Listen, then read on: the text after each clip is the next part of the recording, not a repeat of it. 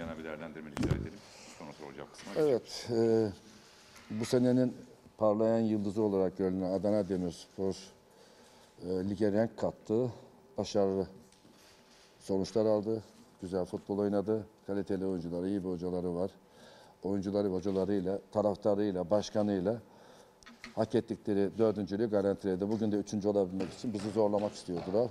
Çok güzel motivasyonları vardı, iştahları vardı.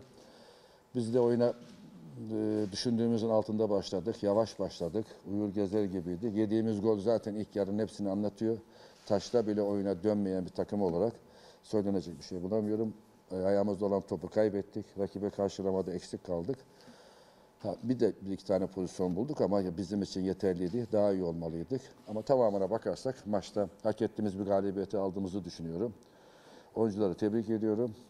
Başarıların devamı diliyor. Soracağım oyunculara niye böyle yapıyorsunuz diye.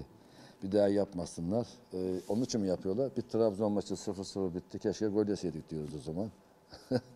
Ee, ba- Bazen böyle oluyor ama hep dediğiniz doğru.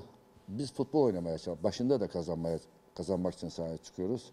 Gol yedikten sonra ön- önemli olan bu. Hırslı, e, kazanma ruhu olan ama aynı zamanda aklını iyi kullanan takım olmak e, gerekirken oyun başlarında konsantrasyon, motivasyon etkisi olabilir.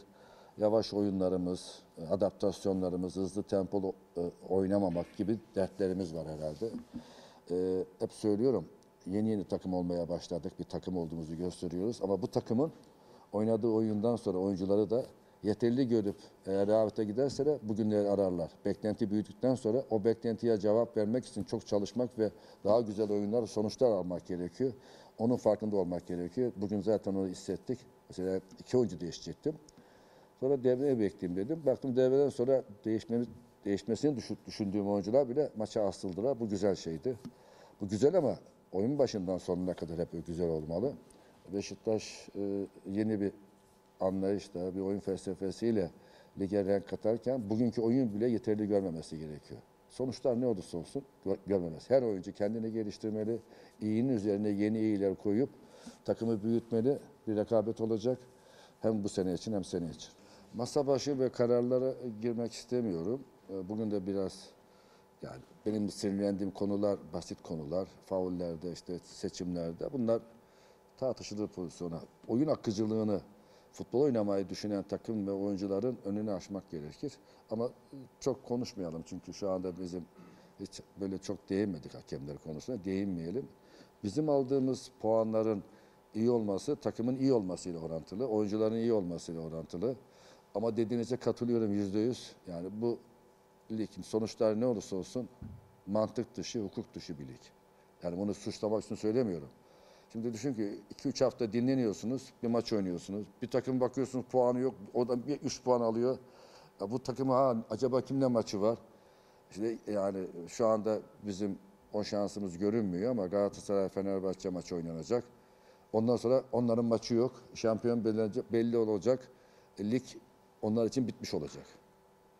Düşün ki eğer bir hafta sonra yansıs, yansısaydı yani Fenerbahçe e, yarışta devam etseydi onun da maçı yok. Yani düşün ki bir tanesi devam etseydi diğeri maçı bitseydi ne olacaktı? Bekleyecekti bir hafta acaba maçlar ne oldu diye.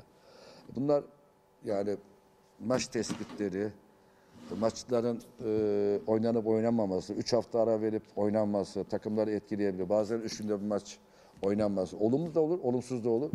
Bunu bir adaletli, daha dengeli. Bu konularda konuşuruz. Yani nasıl bir karar alınmalıydı benim kafamda başından beri var. Söylemeye çalıştım ama tartışmayı o tarafa geçmemek için hiç girmedim. Şampiyonluk da etmedim. Biz futbol adına konuştuk. Yani futbolu nasıl iyi oynarız diye sizle de paylaştık. O yüzden bugün de konuşacağımız o ama doğru değil. Yani lig planlanırken ligi iyi planlamak lazım. Takımlar yarışacak, e, heyecanlı olacak.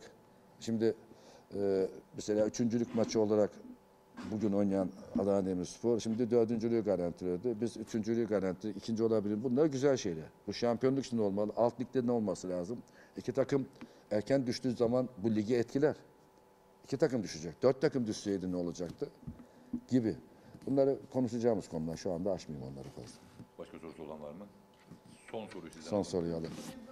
Hakemle ilgili çok şey yapmak istemedim ama maç içerisinde ben bu kadar sinirlendiğimi hatırlamıyorum. Biraz biraz sağlığım bozuktu herhalde. Midem rahatsızdı. Belki ondan olabilir. Ama verdiği faullerin birçoğunda yani seyirci baskısı altına verildiğini hissettiğim için söyledim. Penaltıdır, goldür onları söylemiyorum. İşte bizim lehimize, aleyhimize verdiğinden çok çok oldu. Onu aynı şekilde e, Montella için de geçerli. E, Yani ben niye dışarı atıldığını göremedim. Sahaya girdi falan diyorlar ama biz de girdik sahaya. Hakeme de dokunmuşsa onu bilmiyorum.